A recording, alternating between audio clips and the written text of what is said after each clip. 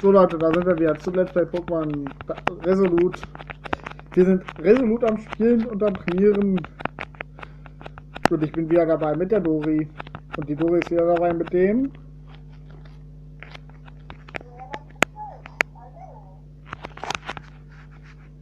Ich sag, frag zweimal wieder nach, auch wenn nur eine, einer von uns aufnimmt, aber scheiß drauf.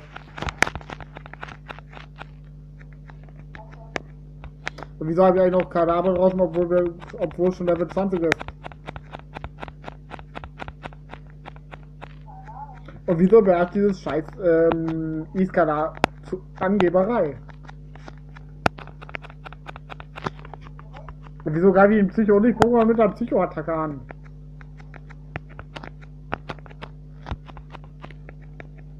Fragen über Fragen. Und mal schauen, ob wir sie irgendwann mal beantworten können.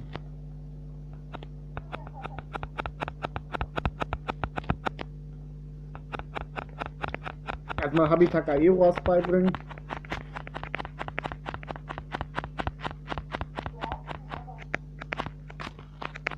Kann eh nur, Habitat kann eh als einziges nur bei mir Aeros lernen.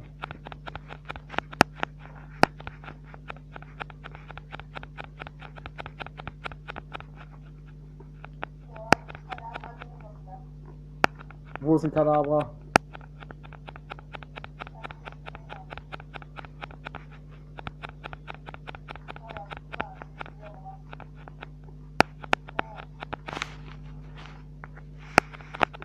Du bist mir ein bisschen zu weit im Voraus, finde ich.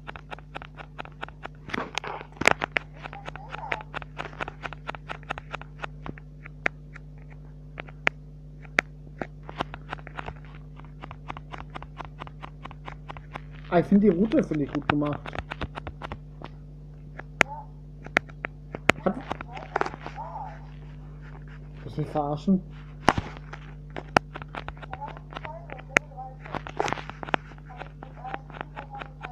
Warte mal kurz. Schwalbers.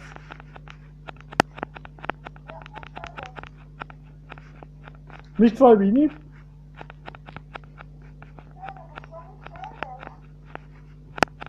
What the fuck? Hängt der Trainer mit seinem Rückings gerade auf.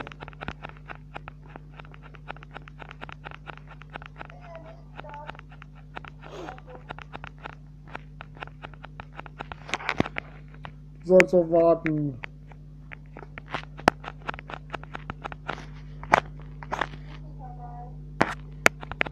Ich bin bei dem Psycho. Paten. Und haben brennendes Habitat.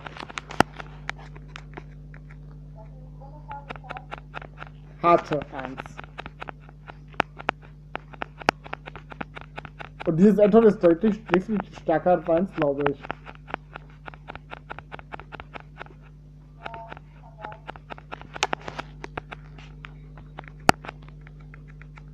Der leckt mich doch am Arsch.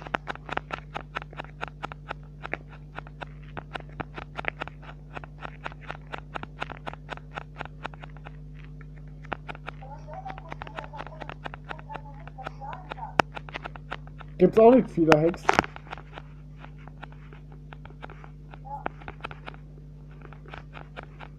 Gibt's da ein paar Hacks, wo der Protagonist auch was sagt, aber nicht, aber leider nicht sehr viele.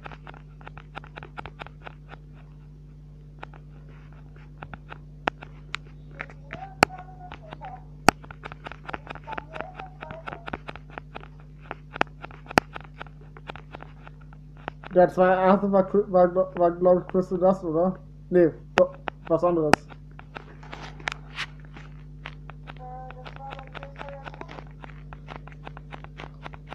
Ja, gut.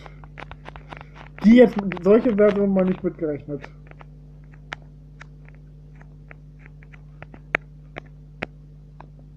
So, ich bin jetzt auch in der Stadt.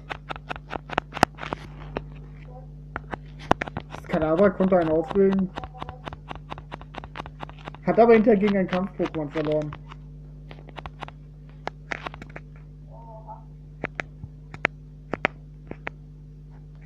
Gibt's hier irgendwas in der Stadt? Gibt's in den Häusern was Interessantes?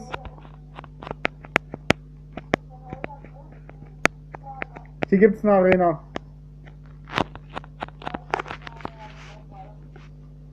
Oh, der, der Typ kommt mir bekannt vor. Der einen jetzt anspricht, wenn man in die Arena reingehen will. Das ist derselbe Typ, den, gegen den man am Anfang gekämpft hat. Ich glaube, das soll irgendwie Gary ersetzen.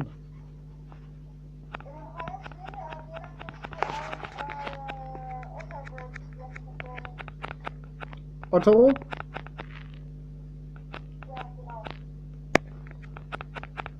Interessant. Vielleicht sollte ich mir, jetzt mal, sollte ich mir das ins Team holen.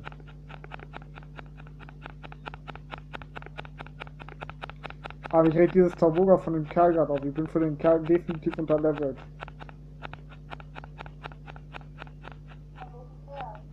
Wenn du in die Arena reingehen willst, spricht die, wenn, da, wenn du in die Arena reingehen willst, da spricht dir dieser komische Typ an, den man am Anfang der Reise in der Heimatstadt bekämpft hat. Und der soll irgendwie Gary ersetzen. Der Typ hat Level 22er. Sein Torbuga ist Level 20 und da geht er mit dem äh, Vulpix ran, Level 23.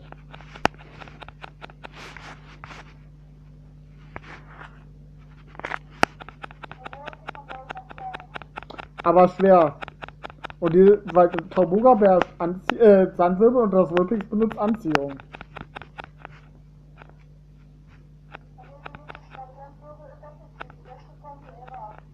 Aha, hat es bei mir auch gemacht.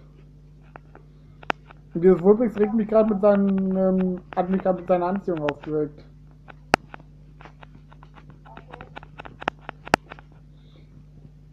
Und danach hat er noch ein Level 24 Gladiantri.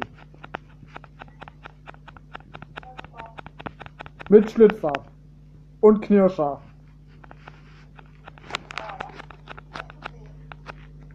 Mein Luxio ist gerade down gegangen.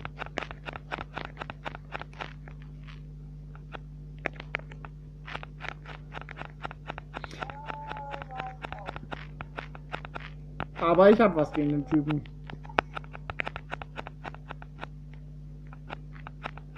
Wobei ich leider nicht dagegen komme, komme es einzusetzen. Doch, komme ich. Ich hab was gegen dieses Gladiantri. Riolo, benutze jetzt Karate-Schlag. Und das Viech... Karate-Schlag. Und das Viech überlebt. Aber den zweiten Karate-Schlag überlebt es nicht.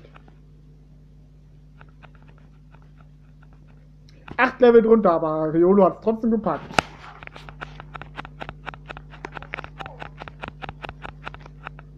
Und wir müssen definitiv noch trainieren.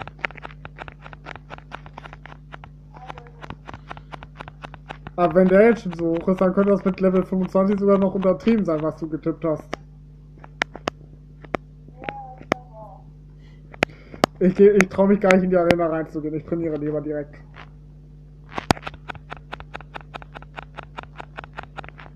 Aber nach dem Kampf. Nee, danke.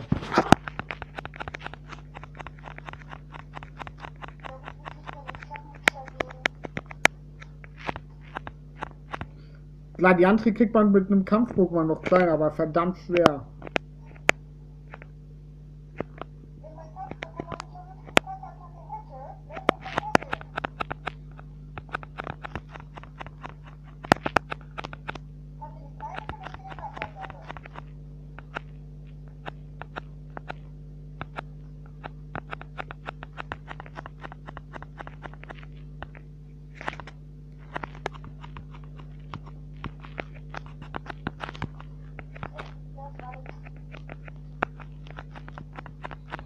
Ich glaube, da brauchen wir jetzt noch gar nicht versuchen in der Arena. Ich will mal gucken, wenigstens, was das für ein Typ ist. So, steht bestimmt hier auf dem Schild. Äh, ein Künstler der Seele und der Natur. Soll das jetzt ein Hinweis auf eine normale Arena oder auf eine Pflanzenarena sein?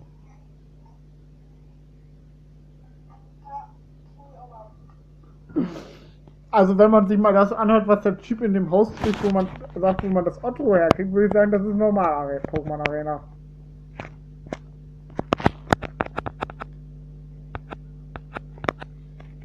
Äh, vor allem, wenn man sich die ganzen Künstler hier anguckt, an, die herumlaufen. Würde ich das auf einer normalen Pokémon Arena tippen, also den, die Arena klopfen mir noch nicht vor.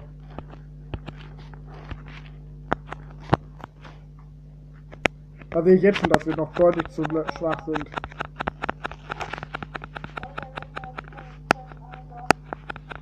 Aber hallo. Aber das wird noch eine lange Training Session.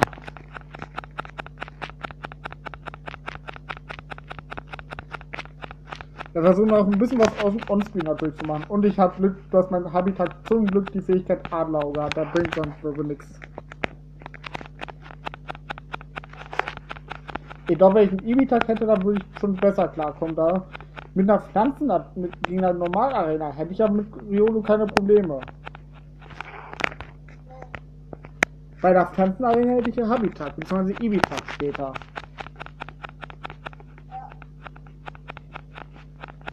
Also bin ich eigentlich für die erste Arena auch schon wieder gut vorbereitet.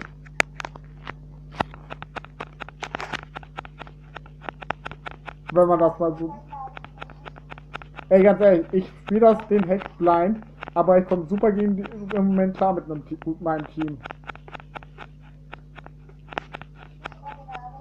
Nee, so, da träume ich noch nicht rein.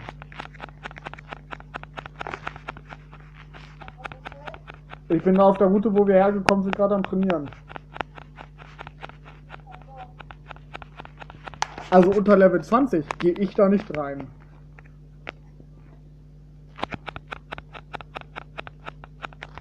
Ich denke mal, das ist verständlich.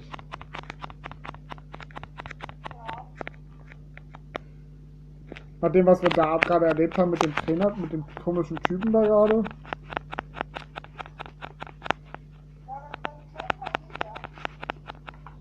Bei mir ging es ja auch schon beim ersten Mal, aber er ist hart.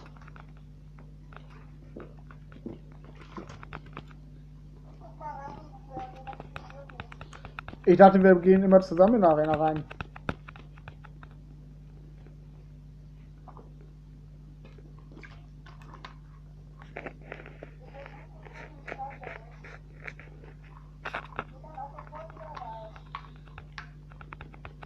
Kannst auch mal rausfinden, welcher Typen die einsetzen.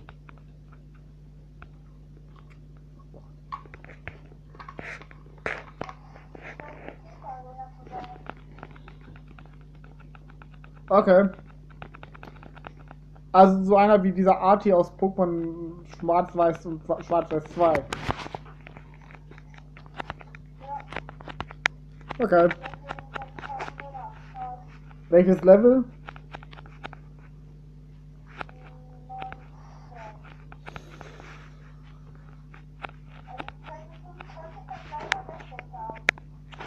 Ja, ich sag nur die letzte Arena.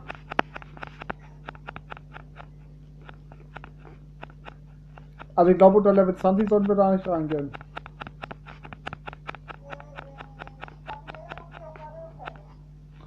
Also das Papinella besiegt dich gerade?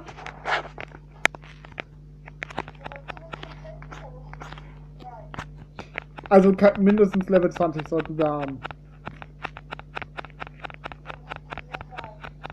Wir können ja mit 20 die Arena-Trainer besiegen und dann können wir mal gegen den Arena-Leiter demnächst versuchen.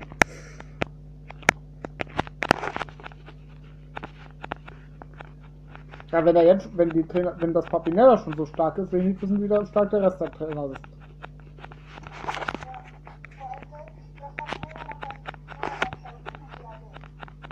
What the fuck? Und jetzt ist mir auch gerade ein Tribus über den Weg gelaufen.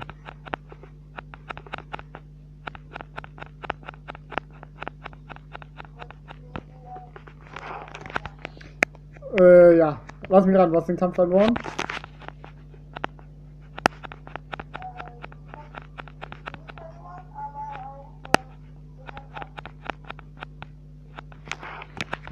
Hat die wenigstens nur ein Pokémon?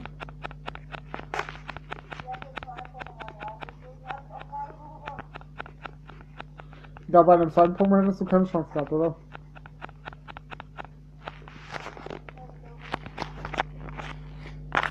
Übrigens, trainier lieber, trainier ruhig mal in Hyperspeed, mache ich auch schon.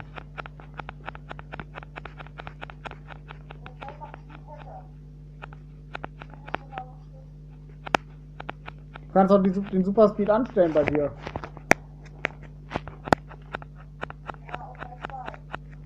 Ich sag doch Hyperspeed. Von Dreifachspeed habe ich nichts gesagt.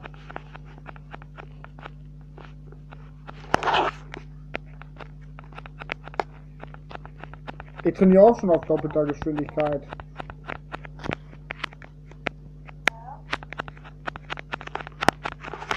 Wäre, glaube ich, nicht schlecht. Dann sind wir schneller durch.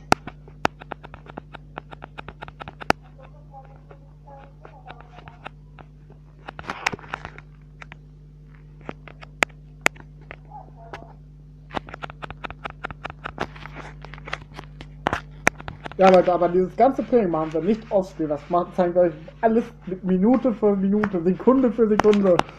Ihr dürft nichts verpassen.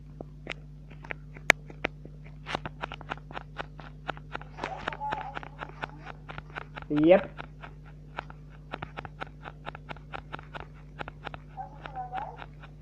Ja.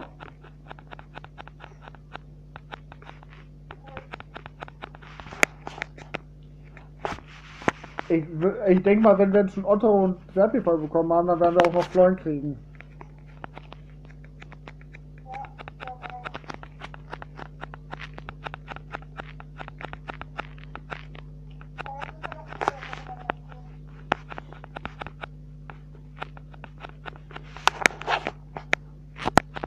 Aber bisher bin ich ganz zufrieden mit meinem Team.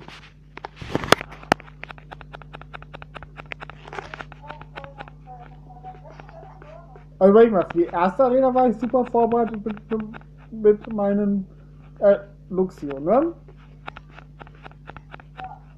In der zweiten Arena, für die zweite Arena habe ich Habitat bzw. Ibitat.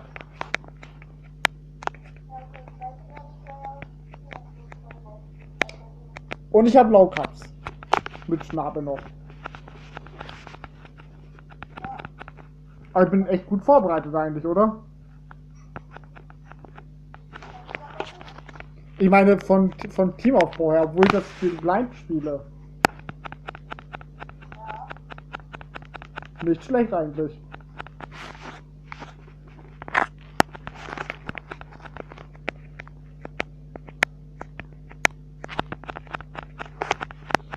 Muss man haben. Und nein, Leute, bevor irgendwelche von euch jetzt fragen, denken, ja, der hat sich doch bestimmt irgendwelche Let's Plays angeguckt davon schon. Nein, habe ich nicht.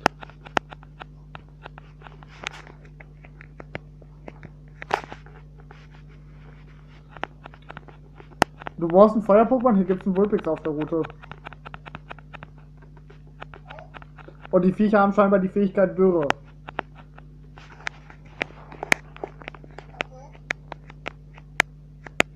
Mir ist mit gerade Vulpix auf Level 13 über den Weg gelaufen, das hatte Fähigkeit Dürre.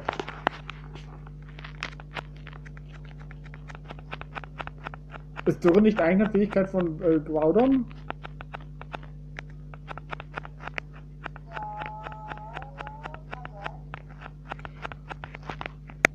Naja, mich wundert, eh, wundert eh nichts mehr.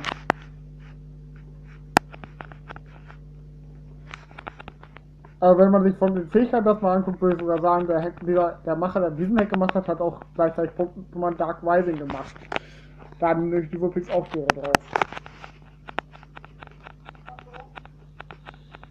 Oder einer von den beiden hat sich von einem anderen ab, äh, was abgeguckt.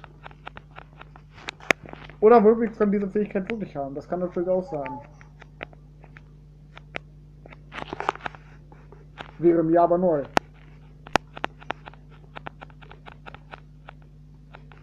Oder hast du in deinem ganzen Leben bisher einen äh, Vulpix mit Fähigkeit Dürre gesehen? Direkt. Deutlich. Aber ich beschwöre mich nicht.